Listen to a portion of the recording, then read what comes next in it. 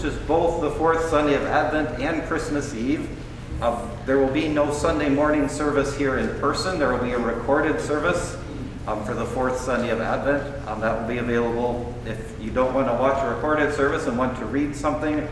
Um, please let the office know. I'll be putting that together soon. That can be mailed to you um, for your devotional or whatever that might be on that Sunday morning or before. Then our Christmas Eve service is at 3 p.m. Um, just the one service this year. We'll have special music, candles, and communion for that service. And then December 31st, three weeks from today, we'll have our annual service of lessons and carols um, to celebrate the Christmas season. A few other things happening. The giving tree is about to wrap up. Today is the last Sunday to bring back the gifts, so I hope that if you signed up for a gift, you've brought in the gift. They'll be sorted this week. Thank you, thank you to all of you who've given gifts, given money for the food or the gifts, um, those of you who are helping out, uh, making all of this work smoothly. It is a big ministry, a big project, and so thank you to all who are involved with that. Christmas poinsettia orders are due next Sunday. The cost for poinsettias is $10. There are envelopes out on that table on your way out this morning for that. There are two Christmas concerts today in our area. There's one at the Methodist Church.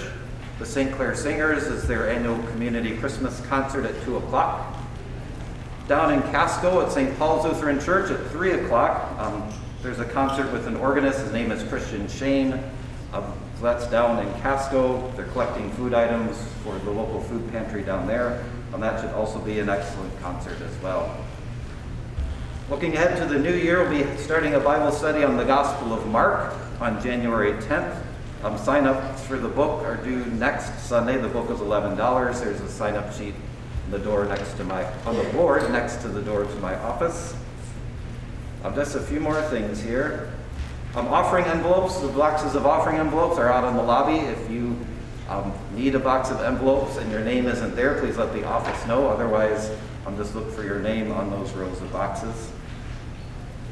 Also, there are 2024 wall calendars out there in the lobby. Please feel free to pick one of those up for the new year. A public service announcement, because we have the wreaths on the outside doors, if you're here um, and you're locking the door behind you, please just give the door an extra pull. Um, sometimes those brackets, the doors kind of stick, so just give those doors an extra pull to make sure they're locked. And finally, thank you this morning. Nancy Diebold and Renee Evans will be sharing their musical gifts with us for special music today, and so we give thanks to them for that. Those are the many announcements for this morning. I invite you now to stand as you are able.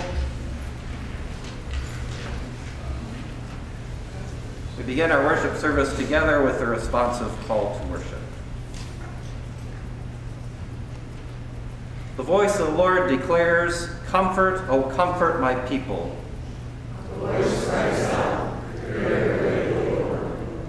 The earth will be transformed. God's glory will be revealed.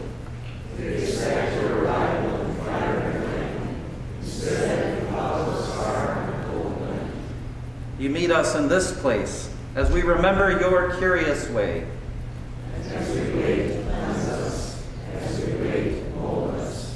Our ears and eyes perceive no other God besides you, and so we worship this day.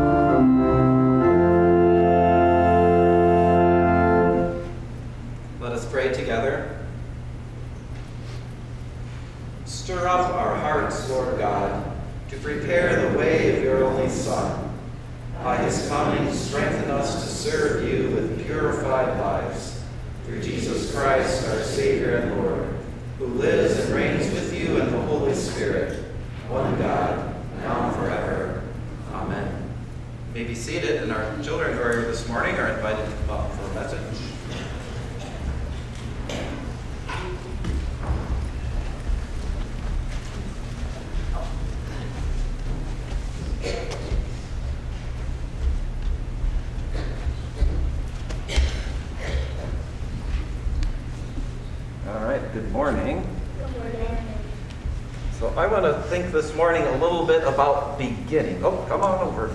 There's some seats on this side. Come on. Well, I want to think about beginning. So we're almost at the end of a year, right? This is the month of December, and then what about three weeks? We'll have New Year's Eve, and so we'll have the beginning. Anyone know what year the next year is? What what year is coming? Yes. 2024. 2024. So soon we'll have the beginning of 2024, right? Um, anyone get any new books lately? Get any new books? No. Well, think about, let's think about some of um, maybe the books you already have. So when you open a book, that's the beginning of the book, right? The first page, and you know, like fairy tales say, once upon a time, we know we're beginning a new story about something. Or if you sit down to watch a movie, uh, if you watch a Disney movie and the Magic Kingdom comes on, you know it's the beginning of a Walt Disney movie, right? Um, or even anyone here run or play soccer or any sort of sports, yeah. So at the beginning of a game, however that game or race starts, um, beginnings can be exciting, right? Because you don't know how the race will go or the game will go, or if you've never read the story before, all right, what is this story going to be about? And even New Year's, we're beginning a new year soon, and we, we're excited about what the year may hold for us. This morning, in our reading called the Gospel, we're going to hear the first words of a book called Mark. And Mark begins his book by saying the beginning of the good news of Jesus Christ. That's how he starts, which is also something exciting because Mark and all of the books we call the Gospels tell us about Jesus. Some, one of them tells about his birth. All of them tell about his death and his resurrection. All of them tell about Jesus' healing and teaching and all the good things that Jesus did. And so this is also an exciting thing to hear that the good news is beginning, and Mark is going to tell us all about it. And nowhere does Mark say this is the end of the story. Usually a book comes to an end, it might say the end, or however a book ends, right?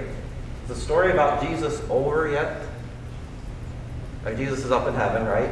But is the story about Jesus over, do you think? No, because we're still talking about him, right? We're still hearing again the good news soon about his birth um, and all the love that he continues to show us. Um, so we also can talk about the good news, right? We're going to hear someone named John the Baptist talking about Jesus and getting ready for Jesus. We can also talk about Jesus and his good news. Sound good? And I think most, if not all of you, are going to do that next Sunday in our Christmas program, right? It'll tell us again the good news about Jesus when he was born. All right, so let's pray. And then we'll light the Advent wreath. God, thank you for the good news that um, your Son brings to us and continues to bring to us for his love for us. Uh, thank you for all of us and the ways you help us to tell that story about his love. Pray us all in his name. Amen. All right, so today we're going to light another candle in the Advent wreath. Um, so Emily, if you want to go ahead and come forward and do that. This one we call the peace candle. And it reminds us of the peace that Jesus can give us in challenging and difficult times. Now we have some words to say. All right. Come, Emmanuel, the world is not ready. The field is still uneven, yet we watch and prepare to see God's glory revealed together. A spark of peace lights the way. Despite our fast fading courage, we will follow the voice calling us in the wilderness toward peace and wholeness. And we sing.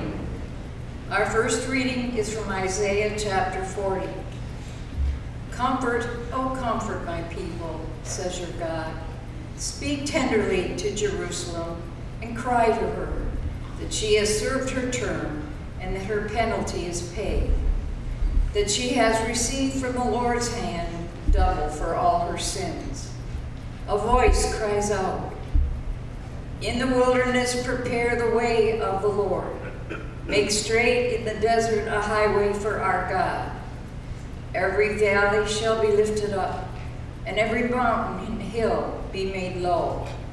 The uneven ground shall become level, and the rough places a plain. Then the glory of the Lord shall be revealed, and all people shall see it together, for the mouth of the Lord has spoken. A voice says, Cry out. And I said, What shall I cry? All people are grass. Their consistency is like the flower of the field. The grass withers, the flower fades. When the breath of the Lord blows upon it, surely the people are grass. The grass withers, the flower fades. But the word of the God will stand forever. Get you up to a high mountain, O Zion, herald of good tidings. Lift up your voice with strength. O Jerusalem, herald of all of good tidings lifted up, do not fear, says, say to the cities of Judah. Here is your God. See, the Lord God comes with might, and his arm rules for him. His reward is with him, and his recompense before him. He will feed his flock like a shepherd. He will gather the lambs in his arms and carry them in his bosom and gently lead the mother sheep. The word of the Lord. Thanks be to God. We'll read responsively Psalm 85. You have been gracious to your land, O Lord.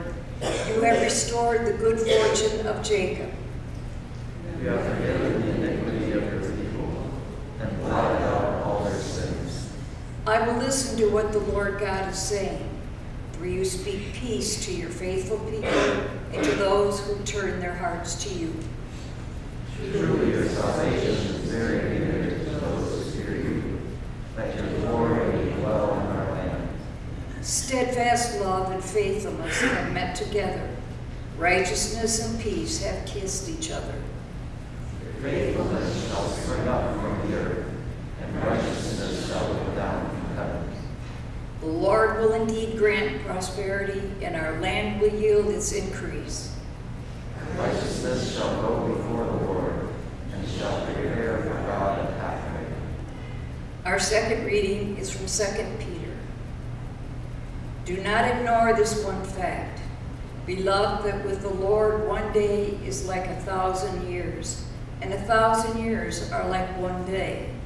The Lord is not slow about his promise, as some think of slowness, but is patient with you, not wanting any to perish, but all to come to repentance.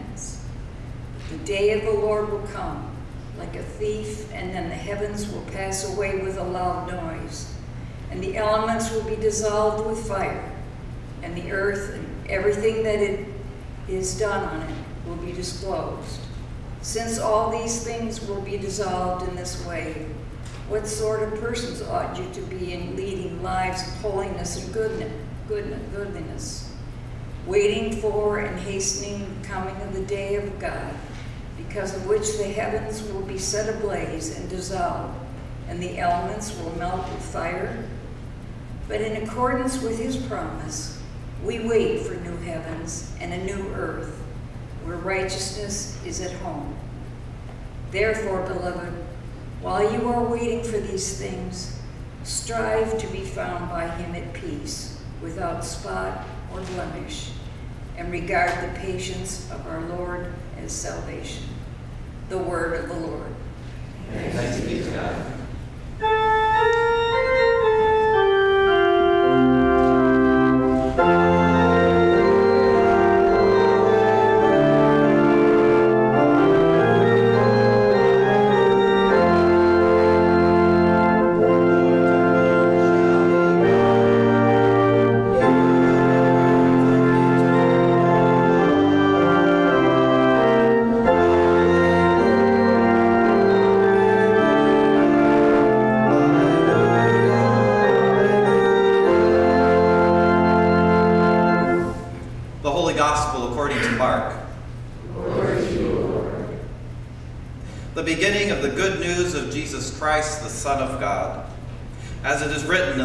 Isaiah, See, I am sending my messenger ahead of you, who will prepare your way. The voice of one crying out in the wilderness, Prepare the way of the Lord, make his paths straight. John the Baptizer appeared in the wilderness, proclaiming a baptism of repentance for the forgiveness of sins. And people from the whole Judean countryside and all the people of Jerusalem were going out to him and were baptized by him in the river Jordan, confessing their sins. Now John was clothed with camel's hair, with a leather belt around his waist, and he ate locusts and wild honey. He proclaimed, The one who is more powerful than I is coming after me. I am not worthy to stoop down and untie the thong of his sandals. I have baptized you with water, but he will baptize you with the Holy Spirit. The Gospel of the Lord. Praise you, Lord. You may be seated.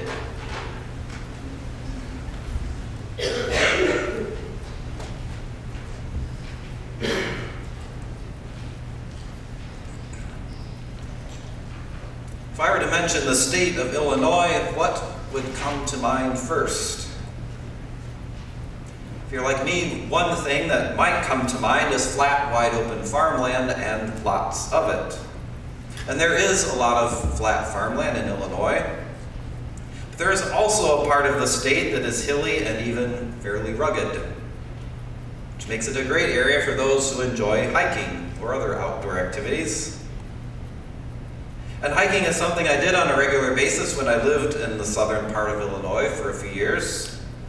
The town I lived and served in was within easy driving distance of some interesting and challenging trails.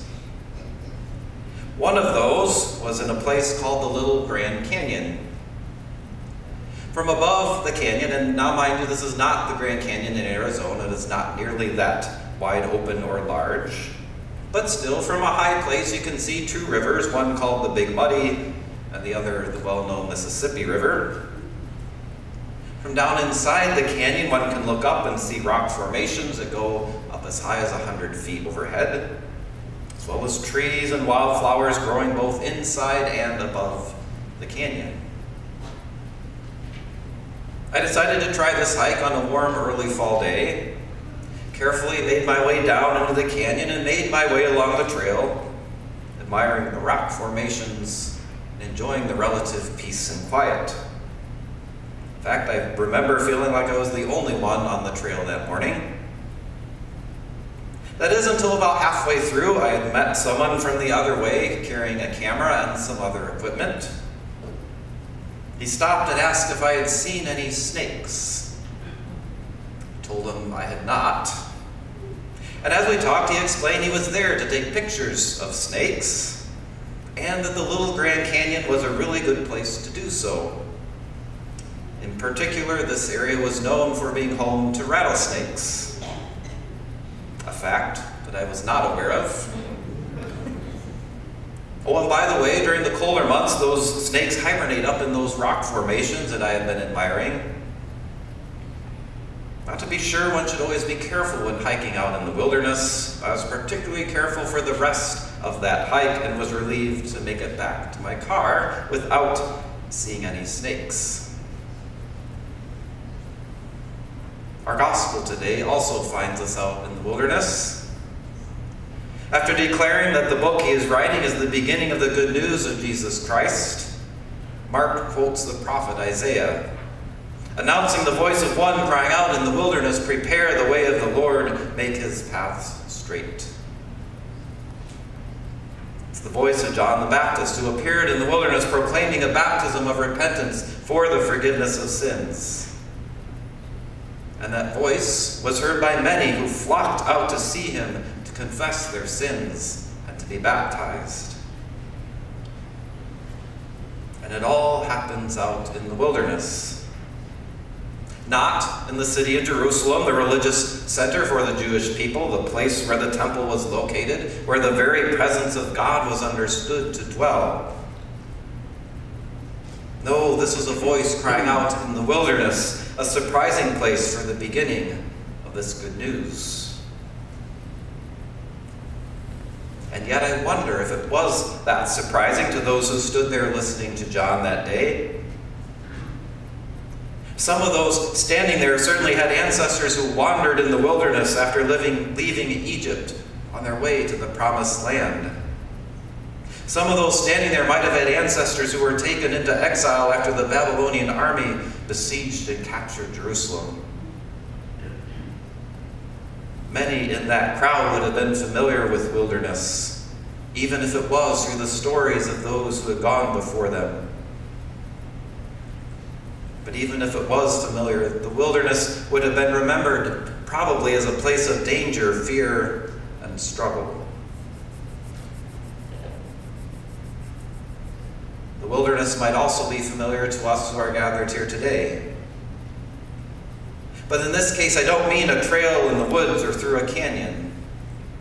And I don't mean a place that is peaceful and quiet. Instead, there are experiences in our lives that are like being out in the wilderness, those times or places of danger, fear, or struggle. Those times when we feel lost, alone, or afraid. Those times when we are in pain or separated from others. Maybe those times for us are in the past. Maybe that time is right now. And regardless of whether or not we have lived or are living through times of wilderness in our lives, there is one wilderness experience we all share, and that is in our relationship with God. For we are all separated from God by our sin. We're separated by those things we have done and things we have left undone. We are separated from God by our self centered ways, by our failure to love our neighbor as ourselves. And there are times when our sinful ways leave us, lead us into places of struggle, fear, or even danger. But there is good news for us who wander in this wilderness.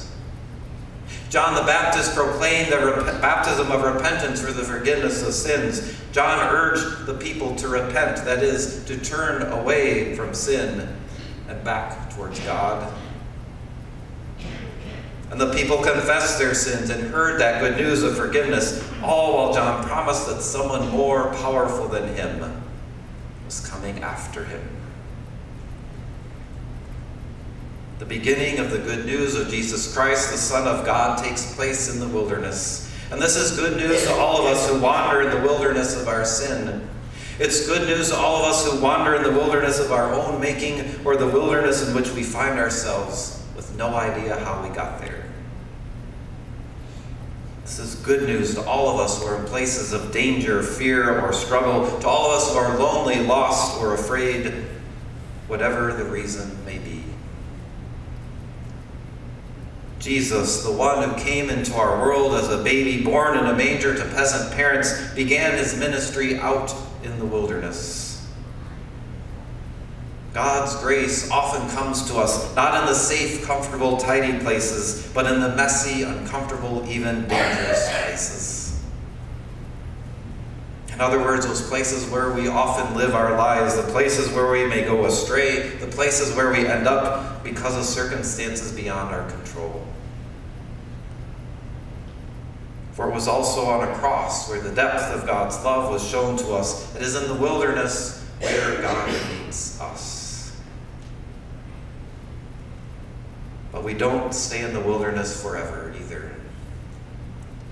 The cross gave way to an empty tomb.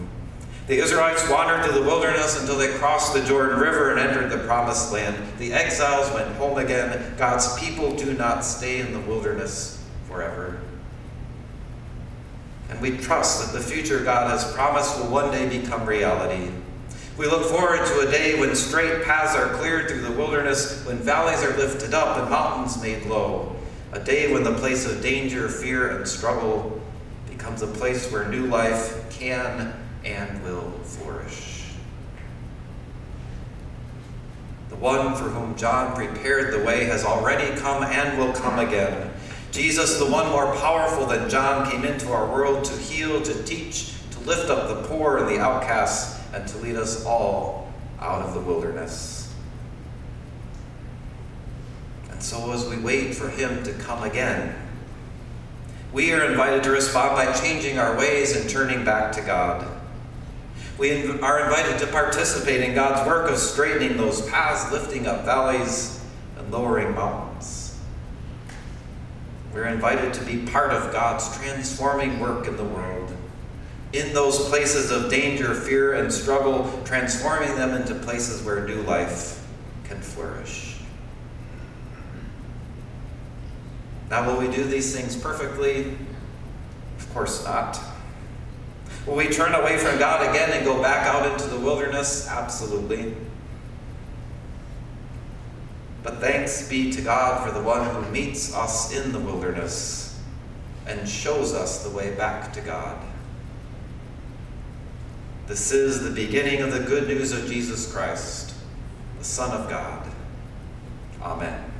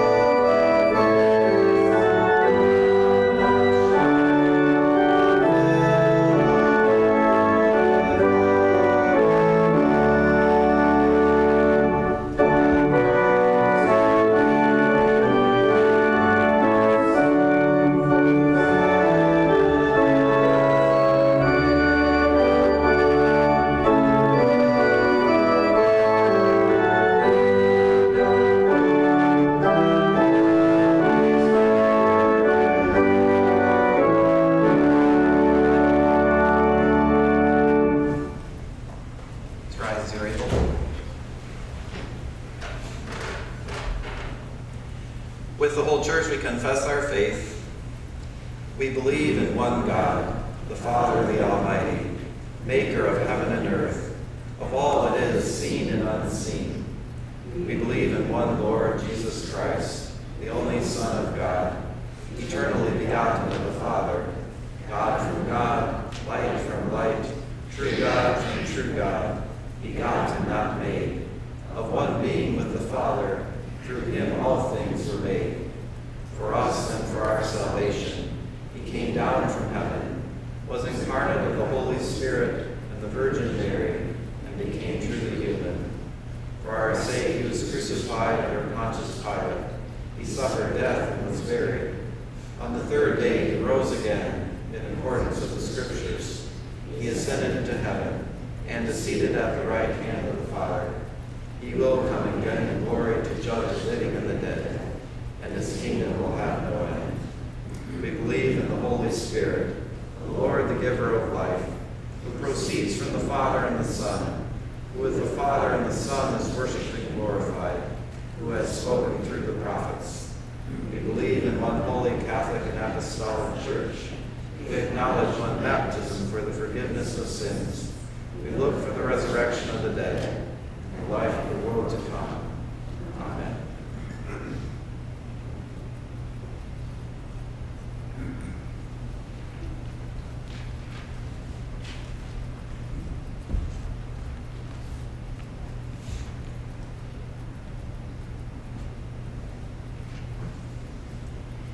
With hope and expectation, we offer our prayers for the church, the world, and all who await God's day of restoration.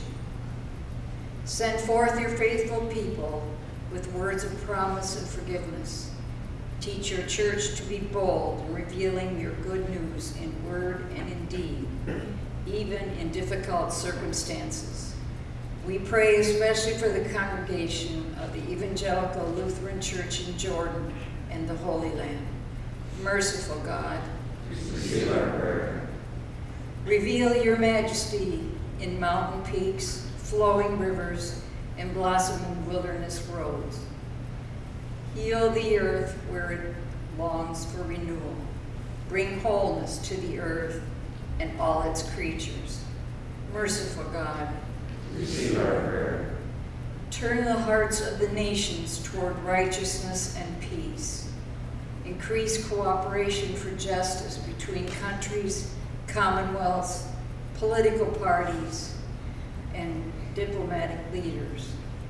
In time of prosperity, direct leaders to be generous for the sake of all. Bring an end to war and protect those who deliver aid to war-torn areas. Merciful God, Receive our prayer. Comfort your people with tender words of love and healing. Surround all who are grieving, all who know depression or anxiety, or all who feel lonely or forgotten. Be a steadfast presence when all else feels uncertain.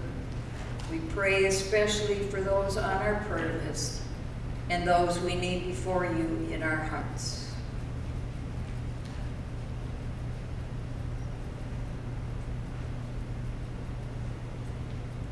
Merciful God, Receive our prayer. grant holy patience to all who are waiting this season. Give hope to those seeking employment. Bring reassurance to people awaiting new diagnoses or treatments. Protect expectant parents. Watch for those who keep bedside vigil. Merciful God, Receive our prayer. guide students, teachers, and staff at schools in our community. Make schools safe places for sound learning and new discovery. Equip and encourage all who teach. Merciful God, Receive our prayer. with you a thousand years is like a day. Bless the memory of the saints from ages past and the anticipation of saints yet to be born. Inspire us to live with faith as we await your new heaven and new earth. Merciful God, Receive our prayer. Listen to these and all our prayers, O God of hosts, and restore us with your great, with your great and everlasting mercy.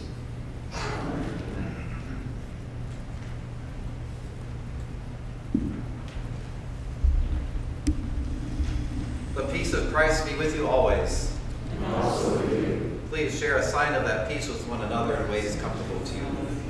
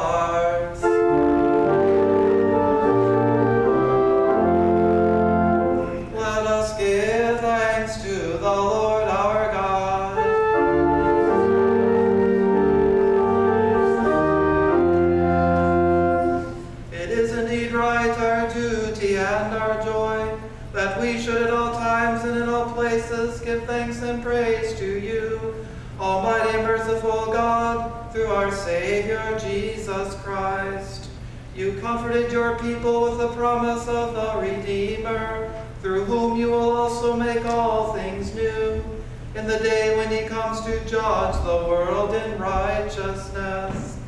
And so, with all the choirs of angels, with the church on earth and the hosts of heaven, we praise your name and join their unending hymn.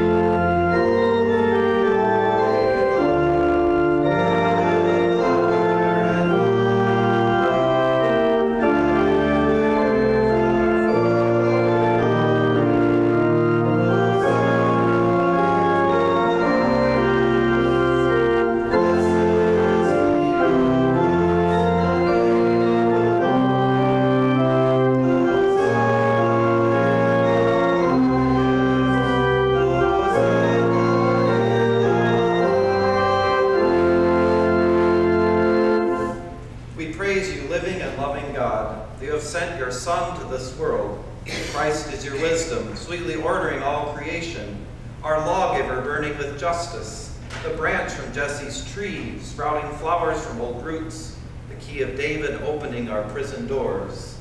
And let the people cry, O come and save us.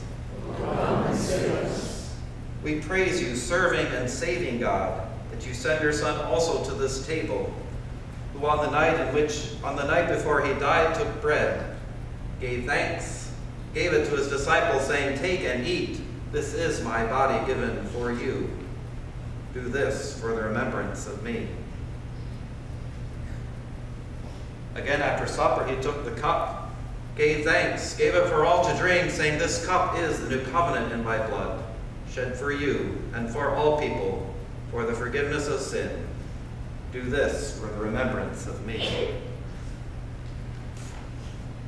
And let the people cry, O come and save us. We beg you, mighty and merciful God, send us the Spirit of your Son, dwell in this food and in all who share it, that the earth may rejoice in your presence. In Christ, the dawning day, enlighten a darkened world, reign as sovereign to unite all peoples, and live among us, Emmanuel, our deepest desire, now and forever. And let the people cry, O come and save us. Even so, come, Lord Jesus, with your Father and your Spirit to the church, and receive our praises now and forever. Amen. And now let the people pray. Come, Lord Jesus, be our guest, and let these gifts to thee be blessed. Blessed be God who is our bread. May all the world be clothed and fed. Amen. And now gathered into one by the Holy Spirit, let us pray as Jesus taught us. Our Father, who art in heaven, hallowed be thy name. Thy kingdom come, thy will be done, on earth as it is in heaven. Give us this day our daily bread, and forgive us our trespasses, as we forgive those who trespass against us. And lead us not into temptation, but deliver us from evil. For thine is the kingdom, and the power, and the glory, forever and ever. Amen. All are welcome at this meal, at this table where we receive in bread and wine the good news of Jesus Christ and his love for us. This morning, our ushers will um, dismiss you to the front to come forward to the rail. Uh, this morning, as always, there are gluten free wafers for those for whom that might be a need. In the tray with wine, there's white grape juice in the center of each tray. If you're unable to come forward this morning, um, communion can be brought to you. Um, and this morning, children or anyone who wishes to receive a blessing will receive a blessing. I invite you now to come, for all is now ready. You may be seated.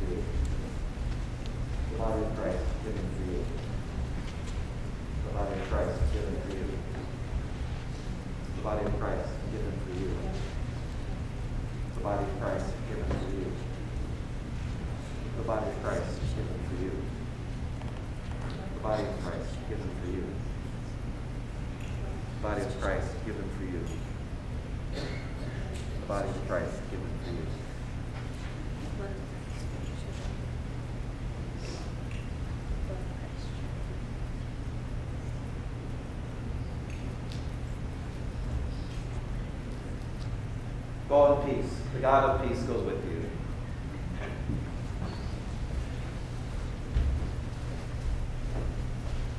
The body of Christ given for you. The body of Christ given for you. The body of Christ given for you. The body of Christ given for you.